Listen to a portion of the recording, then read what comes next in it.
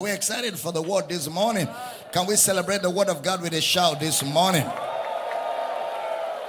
Glory! Amen. Grab your pen, your notebook, your Bible. You can be seated with your sweet, smart self as we get into the word of God this morning. in the first service, I laid a foundation that I'm still going to work on in this service. Um, the book of John, chapter 5, verse 39. John chapter 5, verse number 39. Search the scriptures, for in them you think you have eternal life. And they are they which testify. If your pen was mine, I will underline that. They are they, that is the scriptures are they which testify of me. This is Jesus speaking. The word search is the word investigate. Investigate the scriptures, for in them you think you have eternal life. But the scriptures are my testimony, meaning Jesus is the message of the scriptures. John chapter 1 verse 45. John chapter 1 verse 45. Philip findeth Nathanael and saith unto him, We have found him of whom Moses in the law and the prophets did write. Jesus of Nazareth, the son of Joseph. He's the one Moses in the law and the prophets did write. All right. Now, look at your Bibles. We are still establishing this foundation. In the book of Luke, chapter 24, verse 25, when Jesus rose from the dead on the way to Emmaus, he met two disciples and arguably Cleopas and his wife. And they were discussing the events of the past three days. And Jesus said to them, Gentlemen, what are you guys talking about? And they said to Jesus, Are you a stranger in town? Have you heard, have you not heard about Jesus, a good guy that was killed the other day? They were preaching Jesus to Jesus, but didn't know Jesus. You can be in church and never know Jesus and be lost in religion. Religion is man's efforts to go to God or to look for God. Christianity is not a religion. Christianity is a relationship with God where God doesn't wait for you to come to him, where God has come to us. That's the difference between Christianity and religion. So they thought Jesus, you know, was was was was a martyr, a good guy who died. So Jesus turned to them in verse 25 and he said unto them, O fools, slow of heart, to believe all that the prophets have spoken. All that the prophets have spoken. Next verse. Ought not Christ, if you are reading well, you should have known that Christ to have suffered these things and to enter into his glory. Next verse. And beginning at Moses.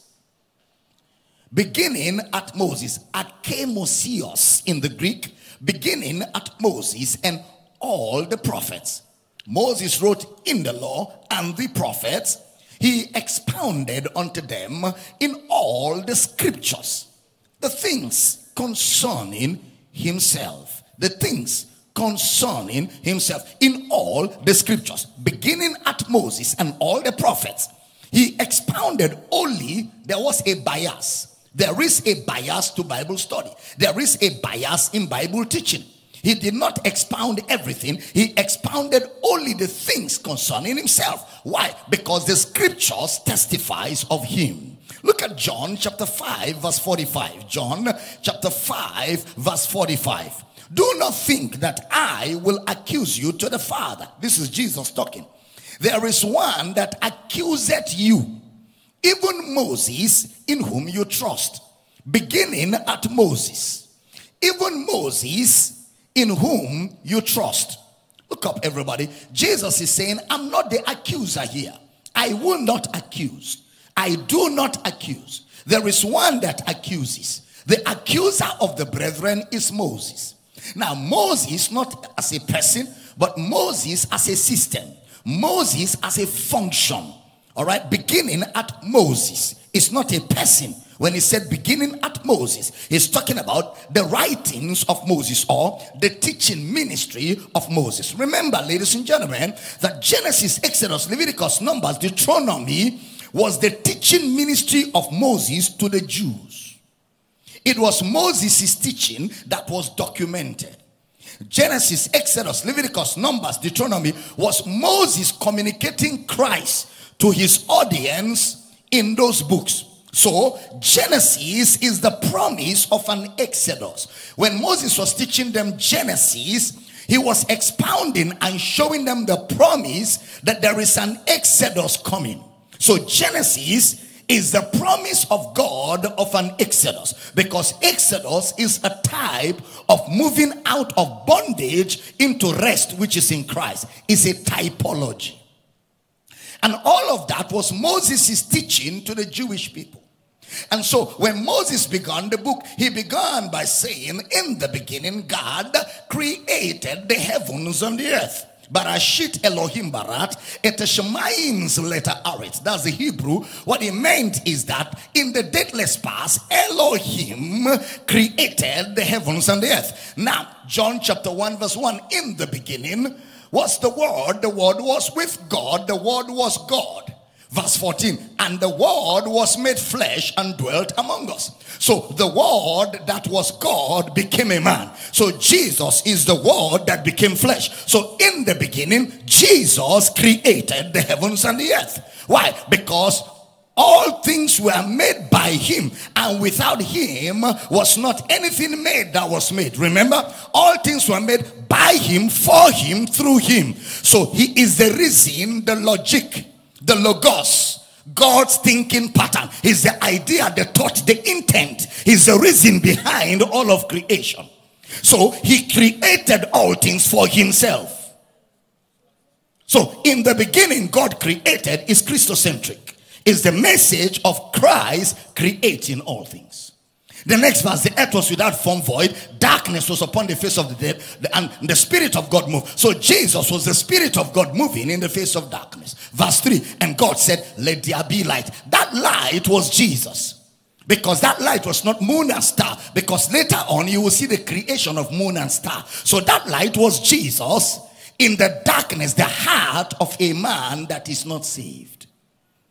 So when he said, Let there be light, he was calling the light to shine out of darkness, which has shone in our hearts. The book of Second Corinthians, where Brother Paul brought the revelation out. Because remember, the New Testament interprets the Old Testament. I repeat. The New Testament interprets the Old Testament. Let me add a little more. The Old Testament must be explained. The Old Testament must be explained. Please stay with me. So the Old Testament must be explained. In the first service, I took time and I began at Moses like Jesus will begin. And we traveled from Genesis, Exodus, Leviticus, Numbers, Deuteronomy, bringing out Christ from all of those books in details. Get the material, it will help you. I'm just going to proceed from where I stopped in the first service. Now remember, he expounded unto them in all the scriptures the things concerning himself. Now look at that John, John chapter 5 verse 45. Observe, John chapter 5 verse 45. Do not think that I will accuse you to the Father. There is one that accuseth you, even Moses in whom you trust. Now observe the next thing. For had you believed Moses, you would have believed me. For he wrote of me. Had you believed Moses, you would have believed me, for he wrote of me. Meaning, Moses wrote two things. Number one, he wrote accusation. Number two, he wrote Christ. So in Genesis, there is a segment for Christ and there is a segment for accusation. Exodus, Leviticus, Numbers, Deuteronomy. Moses wrote two messages. So now it is left for the pastor to rightly divide accusation, trash it, and feed you Christ. Because Christ is the diet of the believer, not the accusation of Moses. But in the books of Moses, there is accusation and there is Christ. That's why the word must be rightly divided. Am I communicating at all? So now, we, we looked at Moses and we brought out Christ from the books that Moses wrote. And I'm not about to go back, like I said. So in Genesis, he's the seed of the woman. In Exodus, he's the Passover lamb. In Leviticus, he is the offerings, all the offerings in the book of Leviticus. In Numbers and Deuteronomy, he is the brazen serpent on the pole. He is the water that came out of the rock. He is the manna that was typified by the manna in the wilderness. And in Deuteronomy, he is a prophet like unto Moses. Because in Deuteronomy, Moses said to them, A prophet like unto me shall the Lord your God raise. Him shall you hear. Look at it, look at it, look at it. Acts chapter 3, verse 22. Acts of the Apostles, chapter 3. For Moses truly said unto the fathers, A prophet shall the Lord your God raise up unto you of your brethren, like unto me. Him shall you hear in all things.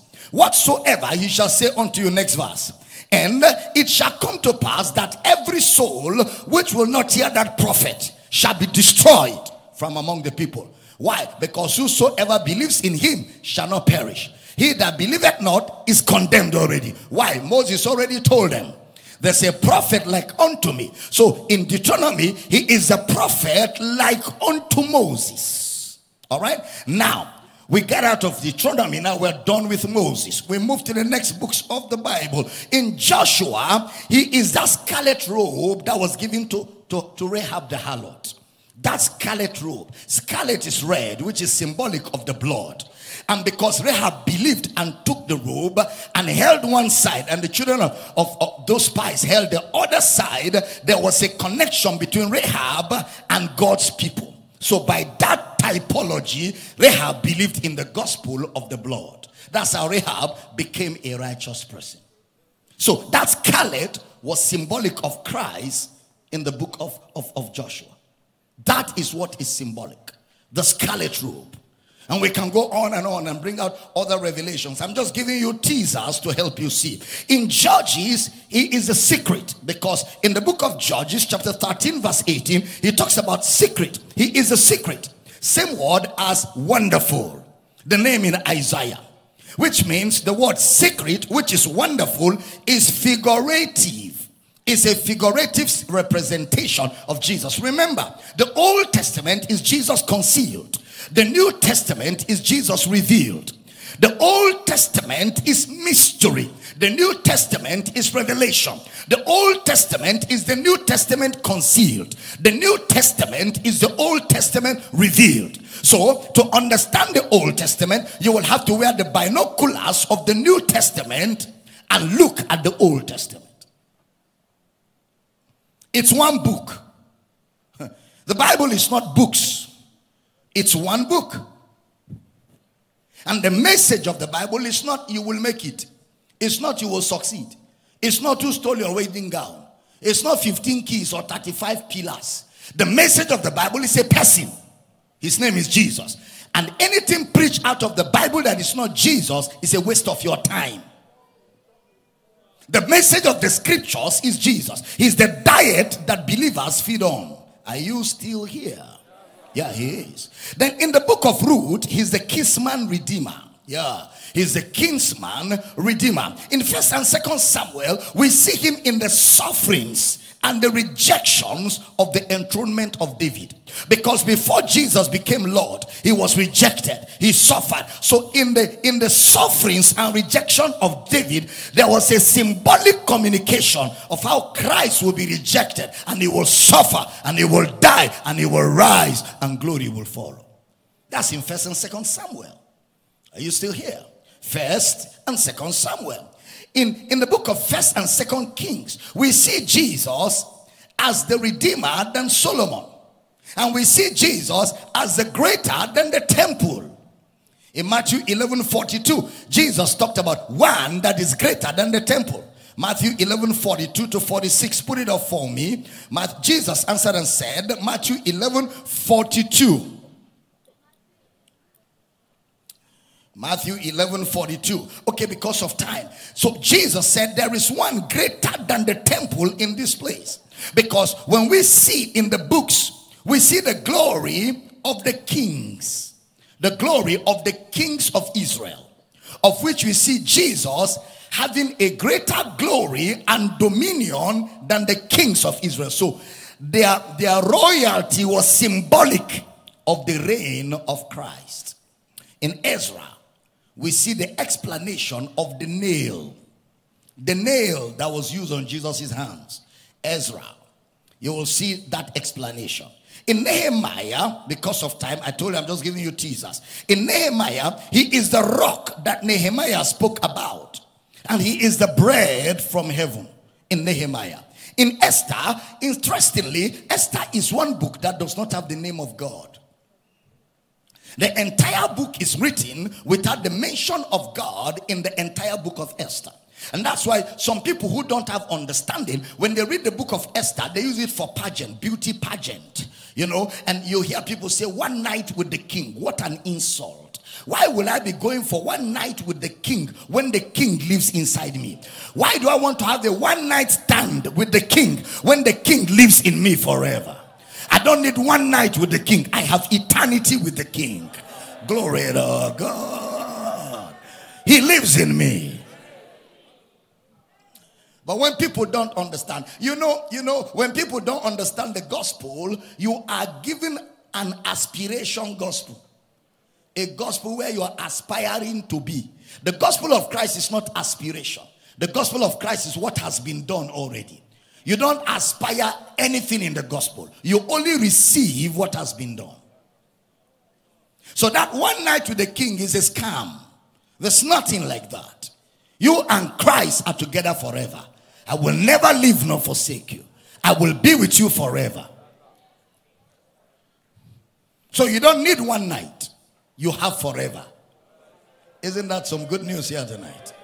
So Esther is one book where there is no mention of God. And that's why people who are not understanding the message of the scripture can use the book of Esther for all kinds of things, but it's actually the message of Christ. How does Christ come into the book of Esther? Esther could not see the king on, until after three days of fasting. So she asked the whole of Jerusalem, Israel, to fast together with her. And that on the third day, she will appear before the king and ask for the redemption of Israel from their enemy Mordecai. And if she perish, she perish. And that was a type of death, burial, and resurrection. Jesus died, was buried. On the third day, he arose and he went up to the right hand of the Father and appeared before the king on your behalf. And I have news for you. And that was your redemption. That was your freedom from the oppression, from the chains of darkness. And he delivered you from the kingdom of darkness and has translated you into the kingdom of his dear son. When he died, you died. When he was buried, you were buried. When he rose, you rose. Am I talking to somebody here? He has quickened us together and raised us up together and made us sit together with him. Where? In the heavenly. So the message of Esther is the message of death, burial, and resurrection. Listen carefully, everybody. No book is allowed in the scripture that doesn't have the message of Christ. There are extra books, but those books are useless because they don't have Christ in them. A book only passed the test of being canonized when it had Christ in it. So the 66 books are tied together by one message. And that message is Christ. Is the message of Christ. Remember, our theology is Christology.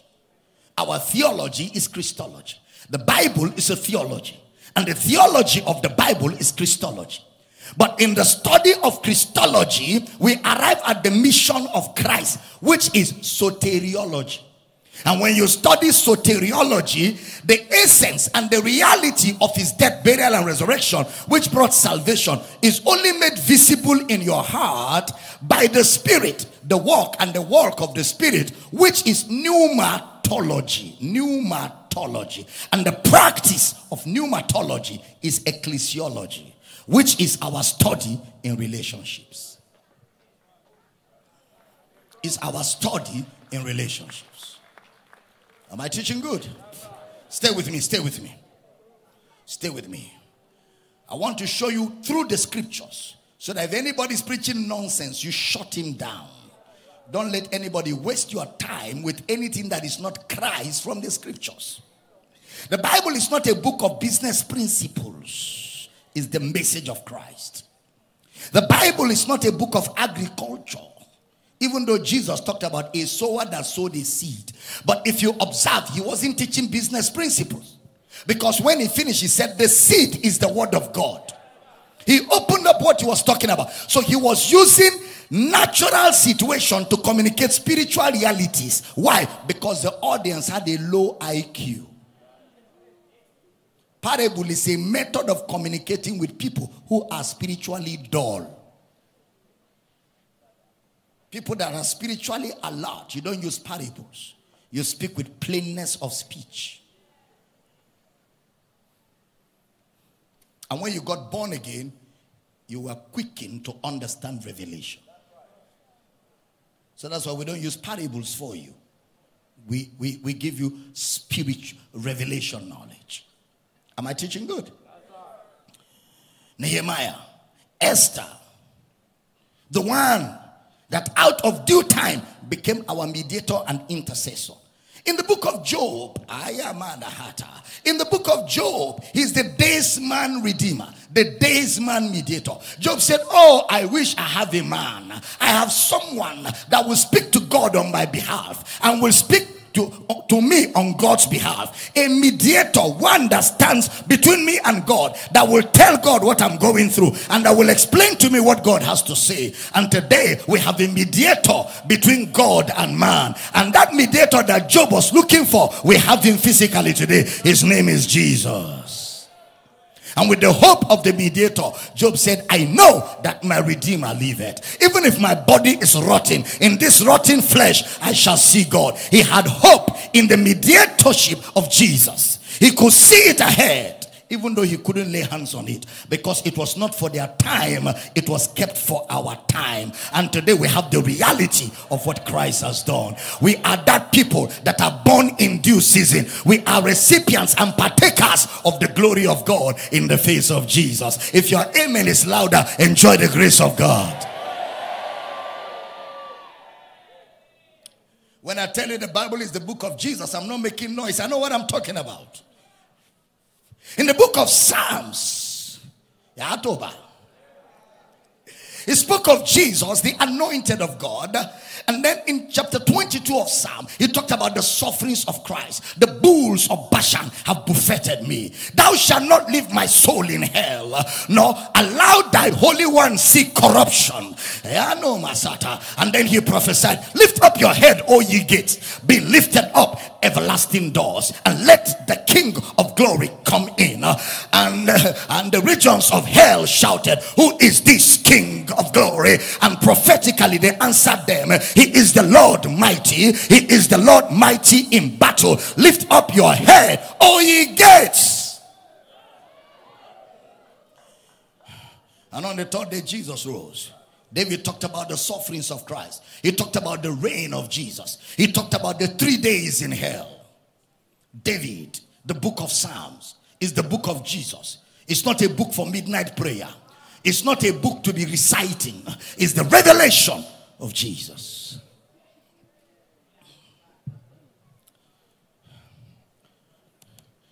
Psalm 16 talks about the reign of Christ. This is the day that the Lord has made. We will rejoice. It's not talking about another day other than the day of resurrection.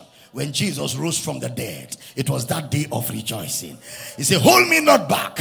I've not gone to my father, your father, my God, your God. But tell my brethren, tell my brethren, tell my brethren. For both he that sanctify and they that are sanctified are all of one. For which cause he's not ashamed to call them brethren. Somebody shout, Jesus is my brother. Say, we're family. Ayataba. Whenever we see Jesus seated, we see him seated as the high priest. These are Christocentric scriptures. In the book of Proverbs, he is the wisdom of God. Proverbs 8 1. He is the wisdom of God. In Proverbs 4 8, he is the path of the righteous that shines brighter and brighter unto the perfect day. That perfect day was the day of resurrection. In Proverbs 16 15, he is the shorty of a sinner. The shorty of a sinner. In Psalms, I mean Proverbs chapter 18, verse 8, chapter 18, verse 10, he is a strong tower. The name of the Lord is a strong tower. The righteous runs into it and they are saved. Whosoever shall call on the name of the Lord shall be saved. In the book of Proverbs, He is a brother that sticketh closer than a friend. He is a friend that sticketh closer than a brother. He is one among thousands.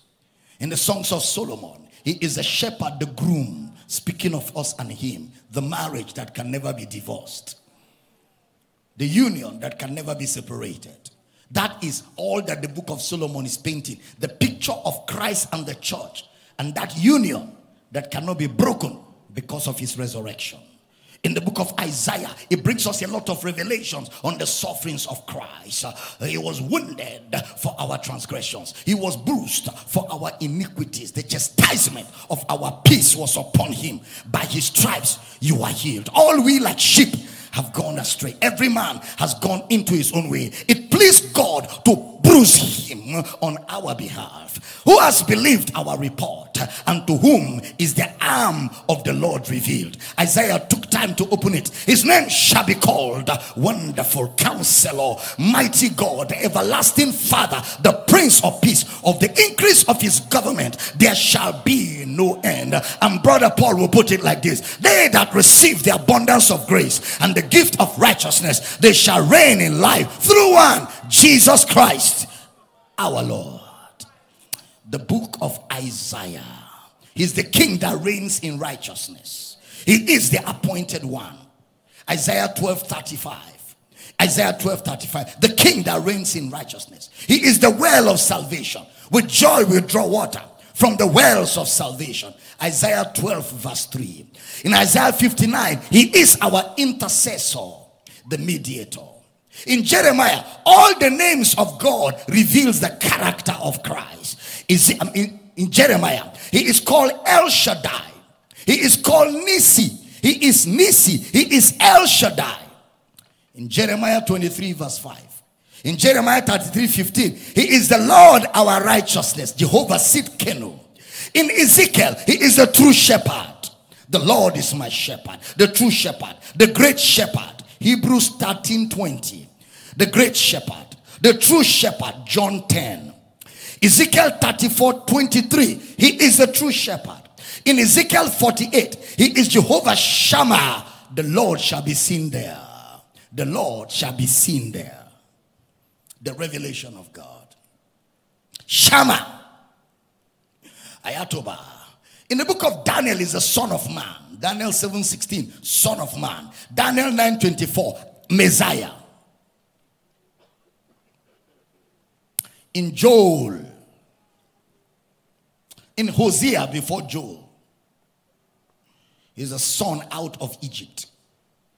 The son out of Egypt. You remember when he was born? He was asked to go out of Egypt. Hosea prophesied it. In the book of Hosea. In the book of Joel, he is the spirit.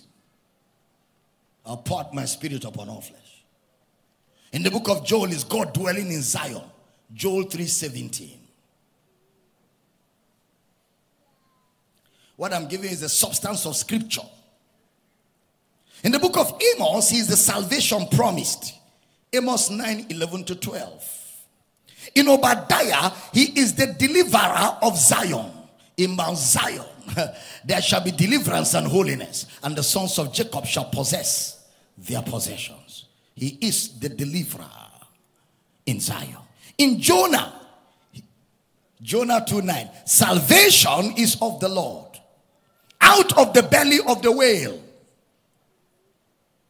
Jonah acted out the drama of death, burial, and resurrection. On the way to Tarshish, they threw him into the sea, and the fish swallowed him three days. And Jonah said, In hell I cried, Salvation is of the Lord. And the fish opened his mouth on the third day and vomited Jonah. Jesus died three days. On the third day, he rose.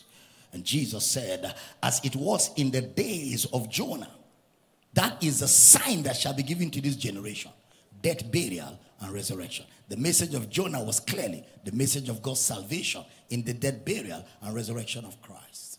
It's his book. That book belongs to Jesus. Nobody else. Nobody else. Nobody else. It's the book of Jesus. Somebody shout hallelujah. And then, of course, as I round up this and then give you a few things before the service is over. In Micah, he is the pre existent nature of God. Micah 5 2. In Nahum, he's a stronghold in the day of trouble. Stronghold. Nahum 1 7. In Habakkuk, he's the faith of Christ. The just shall live by faith. In Haggai, he's the desire of all nations. Haggai 2 7 and the desire of all nations shall come, and I will fill this house with glory. And the glory of this latter house shall be greater than the former.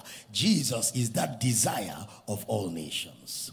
In Zechariah, he is the shepherd that was smitten and the sheep scattered. In Zechariah, he's the shepherd that was smitten and the sheep scattered. Zechariah 13, verse 7. In Malachi, in Malachi. He testifies of Jesus. And John the Baptist was going to be a forerunner. In Malachi 4 2, he is called the Sun of Righteousness. So the epistles are not magical books, they explain what was contained in Genesis to Malachi. With the benefit of the new, we can now see Genesis to Malachi as types and shadows of Christ. You search the scripture. So, an accurate study of the Bible is therefore to see the scriptures through Christ. To see the scriptures through Christ. Once you cannot see the scriptures through Christ, you are lost. Once you lose sight of the scriptures, you'll be in the bush. Are we still here? Look at Matthew 28 20. Matthew chapter 28, verse number 20. Teaching them to observe all things whatsoever I have commanded you. And lo, I am with you always, even unto the end of the world. Amen. It's not an end of the world disposition because we have used that as a message of doom. That statement in itself, when you say all authority in heaven and earth is given to me, it shows you a relationship. Heaven and earth is a mode of communication to show you a relationship that exists between immortality and mortality. Heaven and earth. And we said that the gospel is a relationship. The resurrection of Jesus, which is the gospel, is a relationship and not just a mere event. So the resurrection of Jesus, therefore, is a present tense reality. Why? Because the gospel is a relationship. The gospel is also the resurrection. And the resurrection of Jesus is a relationship. Remember, lo, I am with you always. So the gospel, which is about the resurrection of Jesus Christ, is a relationship. Every time you go out to preach, every time you go out to announce the resurrection, the relationship that God has extended to mankind. Now, we said that salvation can be achieved within microseconds, but discipleship is a lifetime. Matthew 28 19 says, Go and make disciples, teaching them. The word matetio in the Greek, matetio, where you have math, etio. It means to make people learn. It's talking about systematic learning, organized learning, not haphazard learning. The church ought to be a place where you are given a course of study, not haphazard, scattered preaching, not inspirational preaching, not motivation. Uh-uh. Systematic theology and organized theology where you go from module to module that's how the church ought to be because the mission of the church is to equip, to train, and produce disciples who are able to disciple others. So there must be organized theology. Systematic theology. And if you observe, Brother Paul's theology, or what we call the Pauline theology, is systematic. If you observe, the teaching ministry of Jesus was systematic theology, beginning at Moses and all the prophets. Systematic, not just scattered preaching. You know, not preaching at people's needs, not preaching to help people arrive. Where are you arriving? You arrived, you are in Christ. Anywhere you are arriving that is not Christ, you have missed Christ. Christ is the final bus stop, He is the destination point. But motivators will tell you you will get there. And you ask them, where is there? They say there's a place called there.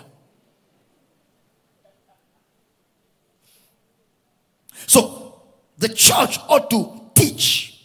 Look at that Matthew 28, verse 19 and 20. Matthew 28, 19 and 20. Go ye therefore and teach all nations. Ethnos.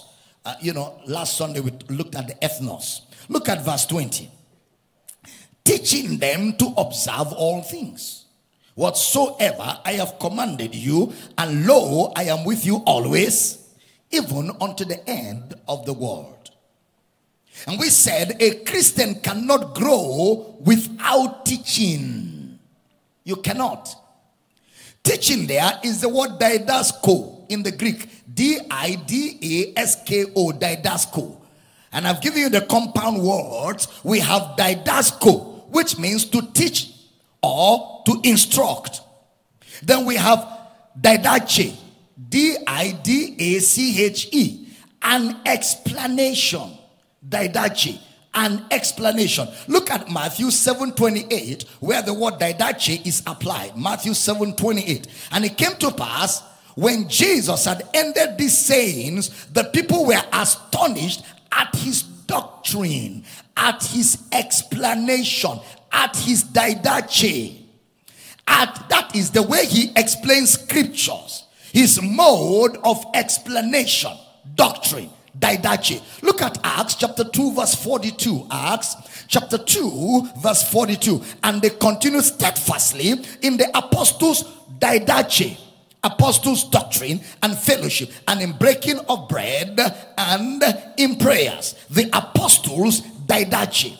They continued steadfastly in the way the apostles explained the scriptures didache. In Acts 5:28, when they accused the disciples, Acts 5:28, saying, Did not we straightly command you that you should not teach in his name? And behold, you have filled Jerusalem with your didache. You have filled Jerusalem with your explanation and intend to bring this man's blood upon us. You have filled Jerusalem with your doctrine, didache, your explanation. In Matthew 16 12, Jesus warned his disciples. Matthew chapter 16, verse 12. Then understood they how that he bade them not beware of the living of bread, but of the doctrine of the Pharisees and of the Sadducees. The doctrine, the didache, the explanation of the Pharisees. Beware of the explanation of the Sadducees and Pharisees. Their selfish explanation, their covetous explanation, their materialistic explanation. And you know, people preach materialism. Every verse of the scripture is for money. Every verse they see in the Bible, they must corner it for money, including the books of the Bible. Psalm 92, no, Psalm 91. $91 for 91 blessings materialistic gospel. Jesus warned the disciples to beware of such teachers, to beware of such people. It doesn't matter the title on their names and the size of chain on their neck and the size of collar on their throat. It is not about dressing and chain, it's about content. Beware of the doctrine of the Pharisees, the didache of or explanation, they have a legalistic explanation. That is not the true explanation of the scriptures. So the word there is the word didache. Then we have the word didascalia. Didascalia. We have didascalia. That is the body of truth. the body of truth. When you put together everything I've been teaching you about Christ, about the law and the prophets, in Christ realities, soteria, when you put all of the modules together, it is called didascalia. That is a body of truth. A body of truth I have delivered to you that has formed the basis for your persuasion, that has formed the basis for your relationship with God. It's called didascalia. That is the doctrine of Christ. The doctrine of Christ, therefore, will be how Christ is the interpretation of Genesis to Malachi. The doctrine of Christ is how Christ is the explanation of Genesis to Malachi. Look at First Timothy chapter 6 verse 1 to 3. First Timothy chapter 6 verse 1 to 3. Let as many servants as are under the yoke count their own masters worthy of all honor, that the name of God and his doctrine be not blasphemed. And they that are believing masters, let them not despise them because they are brethren, but rather do them service because they are faithful and beloved, partakers of the benefit. These things teach and exhort. Next verse. If any man teach otherwise, if any man teach otherwise and consent not to wholesome words, the word hugai, hugaino in the Greek, wholesome, healthy, healthy, sound. Put it back. Wholesome words. Even, now he explained what he means by wholesome words even the words of our Lord Jesus Christ. And the words of our Lord Jesus Christ is the doctrine which is according to godliness. Anybody that avoids teaching Christ, anybody that shies away, that says Christ is too much, A man of God broke my relationship with him. Why? He said, You are preaching Jesus too much. That was the end. He said, You are preaching Jesus too much. I said, Is there anything wrong with that? He said, No, nothing is wrong, but I'm too old to preach it. And he has members, thousands in his church. So I wonder what he's preaching there. Because he is too old to preach Christ. Any church where Christ is not the message is a club. You are hanging out in a club, you're not in a church. What defines a church is not the building design. What defines a church is the content that people are fed. Another man of God told me if I start preaching Jesus, I'll soon run out of material. I said, because you don't know him. So since you don't know Christ, why don't you resign? Leave those of us who have what to say about him forever. Let us preach. Then you learn from us. Must you preach nonsense? It's a case of the blind leading the blind, and all of them will end where? In a ditch. And that's why in those churches, people are ever learning and they have never arrived at the knowledge of the truth. They keep learning, yet they don't know who they are. They are afraid of witches. Any child of God in this church that is afraid of witches is an insult to my teaching. That which has not been born, plus the great grandfather. Even if I sleep without praying, it cannot scratch me. That, that, that. And if I see them now, urinate on them, and they can do nothing. Nonsense.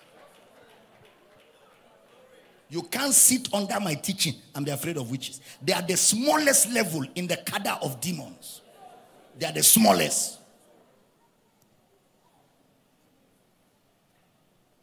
I have dared the devil for decades now. If they burn you well, appear here. Let me sound your face. Bastard. You say you are a child of God, you're born of God, and you're afraid to go to your village. Go and get born again, my friend. You're born again and you're afraid to go to the village.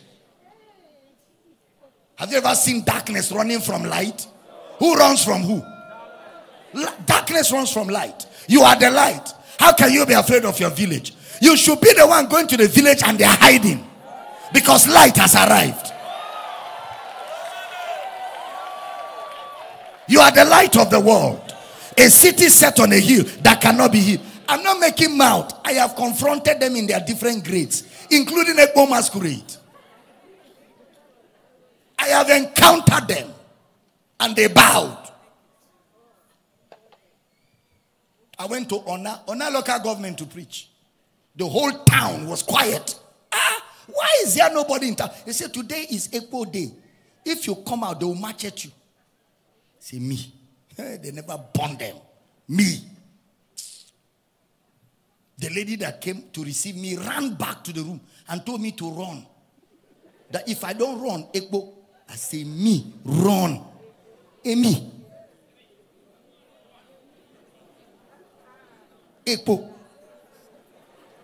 When I have the name of Jesus, I walked to the room. She ran, I walked. Because I didn't understand what she meant. Few minutes as I sat down, they arrived with machete and macheted the door. The machete cut through the zinc door. I stood up. It is written, touch not my anointed and do my prophets no harm. I pulled the door open. I told the man, kneel down. He knelt down. I removed that nonsense. I saw t-shirt with wrapper. I said, lift up your two hands, my friend. Shoe get size. Shoe. Shoe. Shoe get size. Kneel down. He knelt down. I said, have you heard about Jesus before? I said, you need Jesus. There's nothing in this nonsense. You need Christ. While he was kneeling down, others went and removed their distance. 15 of them came. and knelt all of them down. All of them 16. I led them to Christ. They got born again. I took them and handed them over to Assemblies of God pastor. I said, start foundation class for them. We had crusade there that day. Everybody came out. Even those that were hiding came out to see Ekpo kneeling down.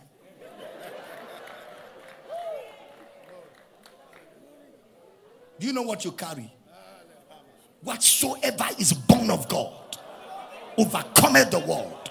And this is the victory that overcometh the world, even our faith. Sayadaba. Behold, I give you power to trample over serpents and scorpions and over all the power of the devil, and nothing shall by hurt you. If you are still afraid, you need to be born again. God has not given us the spirit of fear, but of love, of power, and of a sound mind. Shadola Kotama. You have not received the spirit of bondage again to fear, but the spirit of adoption, whereby we cry.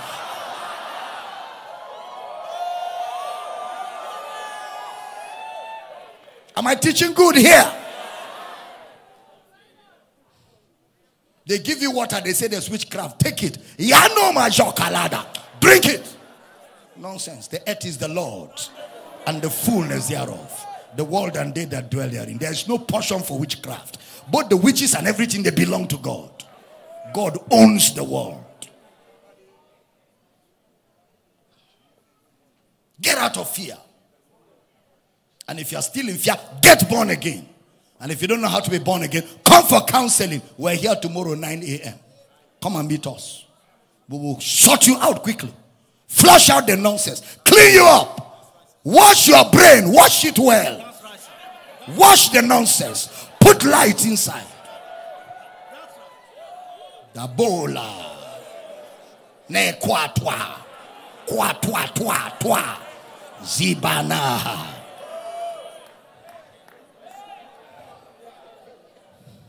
Say, I'm born of God. Shout it, let the devil hear you. Shout it louder. Say it like you know what you're talking about.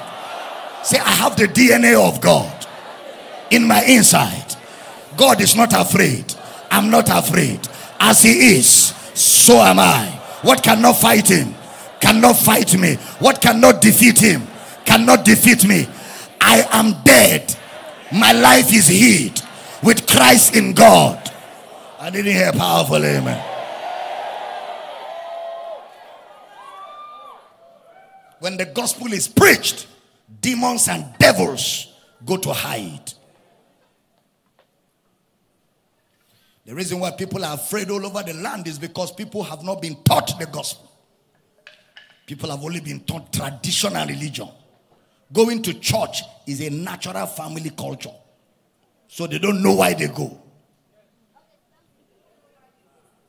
They just go because everybody has to go to church. So they have a form of godliness, but denying the power. And from such, turn away. But you shall receive power. After that, the Holy Ghost is come upon you, and you shall be witnesses unto me in Jerusalem, Judea, Samaria, and unto the uttermost part of the earth. As many as receive him to them gave him to become the sons of God, even as many as believe in his name. I'm not ashamed of the gospel, for it is there of God unto salvation. Somebody shout power three times. Two, three.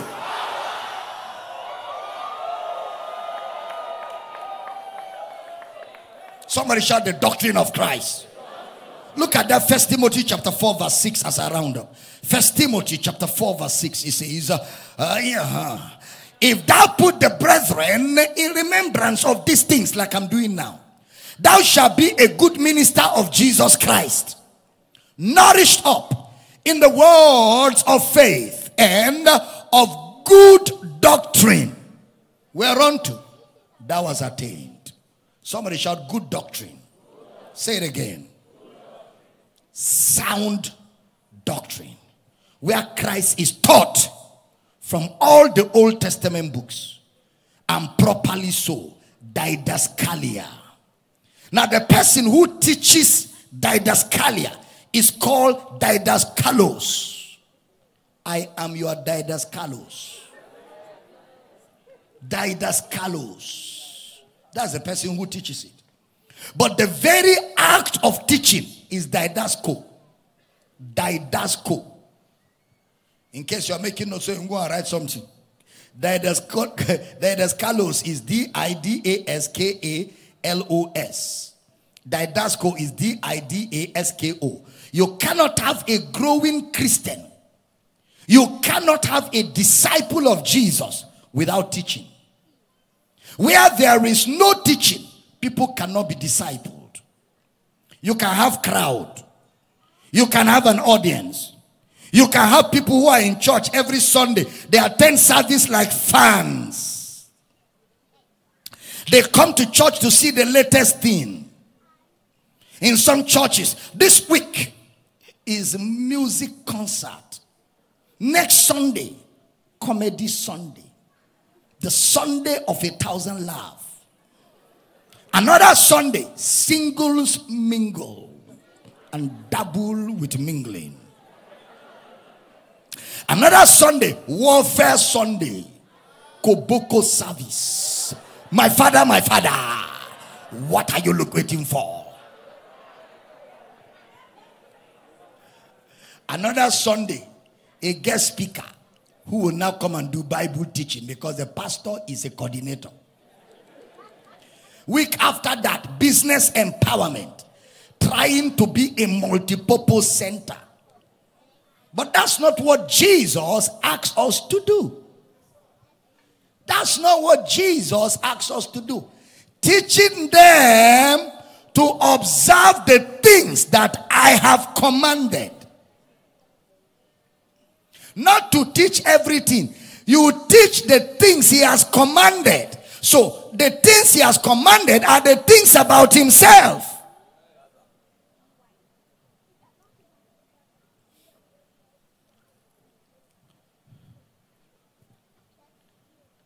Not a series on how to fish. How to fish. How to build a fish pond and produce anointed fishes. Because they were fishermen in Jesus' time. Or how to collect taxes. Because Matthew was a tax collector. Or how to build like Paul. real estate in the 21st century in the church, strategic investments in the real investment, I mean, in the real estate business.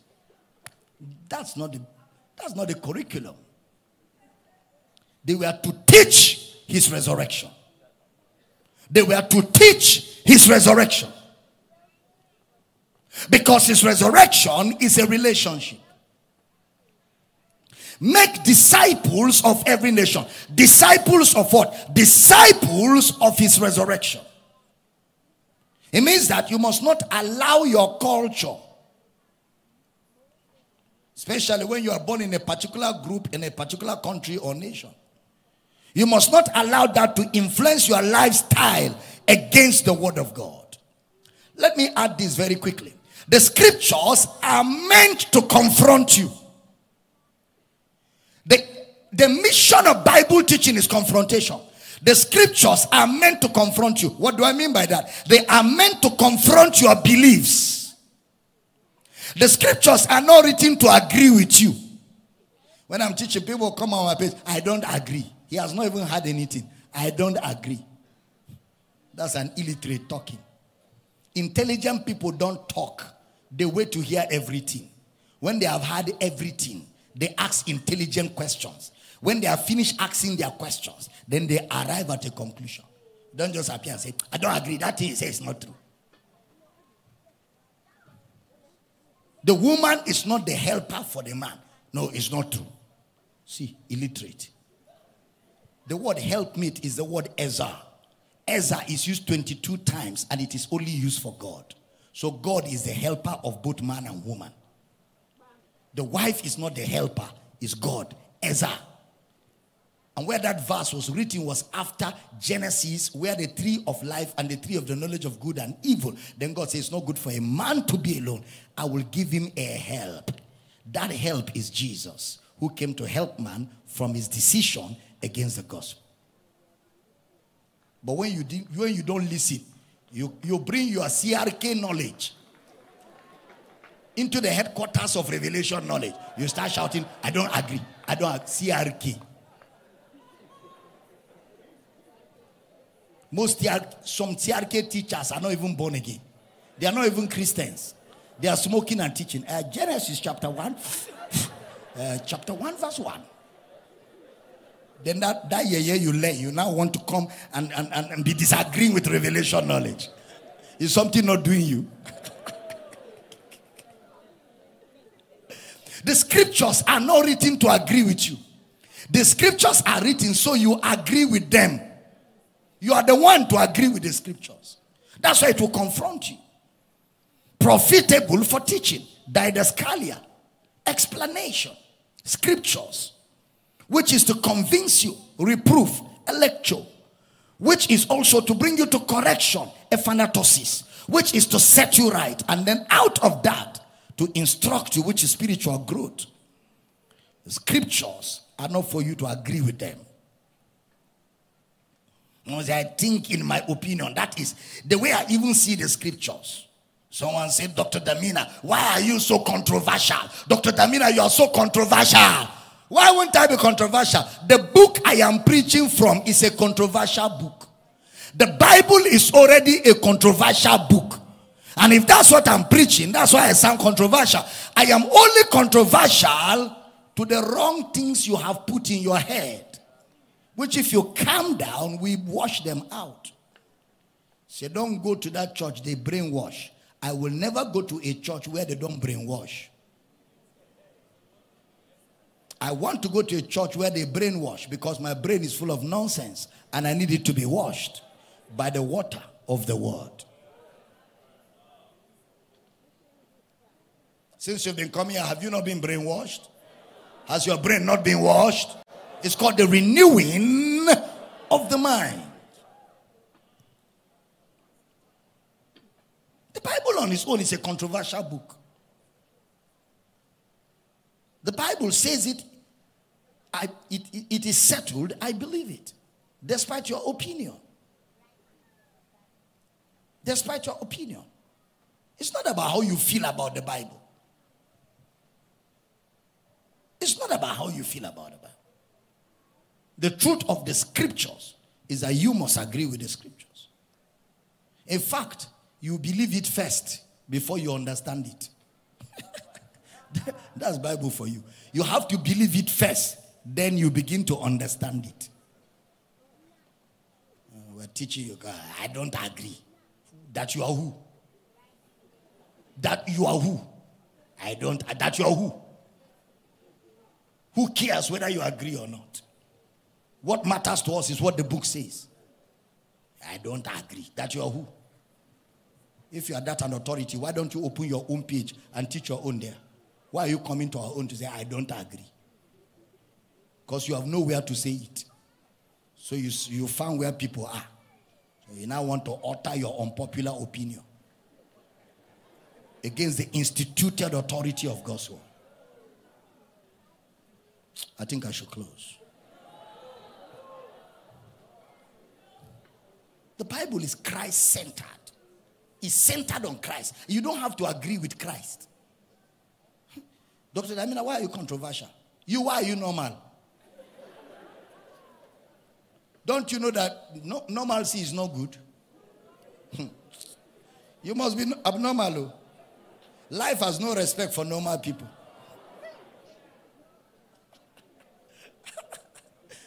Was Jesus normal? Eh? The law say you should not do anything on Sabbath day. Jesus went out on Sabbath day and started healing people.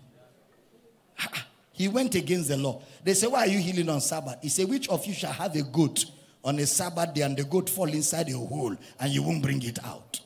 They kept quiet. He walked away. Very controversial guy. He looks at their temple. He said, Destroy this temple. And in three days, I will raise it up. He said, You must be mad. How old are you? This temple took us 46 years. He said, Don't worry, you will understand later. He didn't even care to explain. If you like, understand. If you like, don't understand. All I have said is pull down the temple. Me, I will build it up. Then after his resurrection, they now understood that what he meant was the temple of his body. Meaning that temple doesn't carry God. This is what carries God. Stand on your feet this morning. Somebody shout glory. Tell somebody my body is the temple of the Holy Ghost. Tell somebody I house God. Tell somebody if you are looking for the presence of God, don't look very far. This is the presence of God. I carry his presence. I wear his presence. I move with his presence. I didn't hear that amen like thunder. Lift your right hand. Father, I ask that revelation knowledge grows and grows and grows until nothing else matters. That the eyes of your people's understanding be flooded with light. Barriers terminated. Obstacles are broken. Whatever is not planted by God is rooted out. Sickness and disease humiliated. Satan embarrassed. In the name of Jesus, I decree that you function in your authority. You function in your authority. Reign over sickness. Reign over sickness. Reign over disease. Reign over failure. In the name of Jesus. Thank you, Father, for answered prayer. Thank you, Father, for the blessing in this service. In Jesus' precious name. And every believer says that amen on a note of finality. Grab your offering. Let's give in honor of the word of God. When we teach the word, we ask people to give to honor the word of God, to honor what Christ has done. And today we have asked the counselor in another two or three minutes. I'll be joining Mr. Michael Bush and we'll answer ask the counselor. And uh, thereafter, we'll do other things that we need to do in this service. But are you excited this morning? Grab a good offering, everybody. Those watching online, the banking details are there on television. The banking details are there. Radio audience, Mr. Michael Bush, you read the banking details for you before, before you know, while as the counselor is on. So grab your offerings, everybody. And I want to thank all the partners and friends of this ministry as I announced. Next Sunday is Partnership Sunday. So all partners, get yourselves ready. We have a lot of work because June is our final month before the 30 days of glory. So we are counting down. Therefore, we're going to do a lot of social media campaign. We want to get this gospel as far as possible. How many of you believe that what we're teaching here should go all over the world? We want to get it as far as possible. So, we want all of you who are partners and friends to get ready. apart from our partnership givings next Sunday, we also want to do a crazy social media campaign through the month of June. And I want people that will support me with $100, $200, $500, $1,000, whatever you can afford. I want people that can really support me. Let's get that on the way. There are about 3 billion people on Facebook alone. The world is 7 billion. That's half of the world. We're not including YouTube and Instagram and television. We want to reach as much as possible because that's why Jesus died. And we are his representatives on earth today. So I want to encourage people that want to support me this week so we can begin the social media campaign immediately. This June, we're building momentum towards 30 days of glory.